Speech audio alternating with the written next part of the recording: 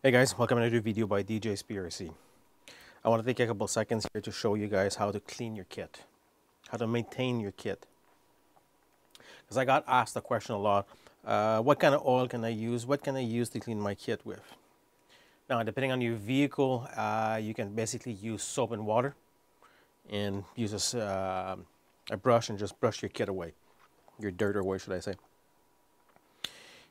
once you clean everything on your vehicle and your vehicle spot spick and span very clean now you could go ahead and clean your bearings. Bearings in your wheels both sides in and out front the same thing too in your transmission if you wanted to open the transmission and go a little bit deeper in it. Now I do have a video how to clean bearings with citrus cleaner. If you look at the, the bio description will be in there and uh, if not just go in my videos and you'll see it. Bearing cleaner, how to make one. Very easy. One of the things I would recommend using is citrus cleaner. And Dynamite has two products out there that works perfectly on RC cars uh, and will not damage any part of it. The Absolute Force is one of them. Uh, it's aggressively cleans and removes grease and grime, oil, dirt, and mud. Safe on all plastic and rubber, carbon fiber, and even aluminum. Any, any metal material, this will not damage it. It will clean it perfectly. This is a 32 fluid ounces, one quart. Uh, great on RCs to keep them clean. Now for your nitro guys, Dynamite has you covered too with the Magnum Force 2. And it's safe on electronics uh, and will remove to uh, your nitro, things like that on, on aluminum and plastic parts. And again, won't damage them. Great stuff. Those two are the products I would recommend before using some gunk or engine cleaner, brake cleaner, things like that. These, this will damage your parts. Will uh, basically put your, instead of having your black black, it will bring it white.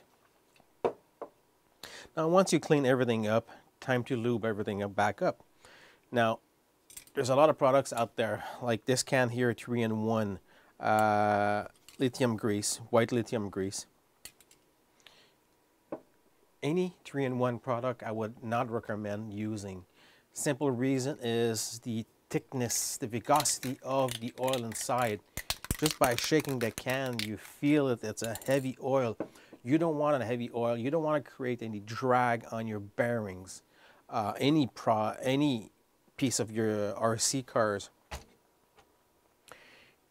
what you could use, even in WD-40 you can't use too, and I'll explain a little bit later on why. You want a light oil. Dynamite has some light oil. Uh, they have light, medium, and heavy. I actually don't have them with me right now. I would suggest a light one. Or the other thing too you could use, I just don't have my bottle near, my, near me right now, uh, is basically sewing machine oil is extremely light and does a great job. The other two you could use is basically O'Donnell makes this uh, O-Lube wax lubricant and uh, Sullivan makes this dry ice. Great products. They're wax based. You put them on your bearings or your plastic, uh, plastic, any metal parts that want to remove friction, glide extremely well. The only down point about this is for Canadian guys, you can't get these in Canada anymore. For some reason, I don't know. Now, for the US, you can get this. There's no problem. And that was something I would suggest. It leaves like a waxy film on top, does not create any drag, and your bearings just slides. Now, like I was saying, WD-40, the reason I do not recommend using it on your RC car, because WD-40 is not really a lubricant. And if you use WD-40, you'll notice it will attract dirt. It will attract anything that's in the air. Now, WD-40, it's a great cleaner. If you want to use to clean your parts, it will clean them extremely well because WD-40 was invented to be a cleaner uh, especially in the uh, world wars.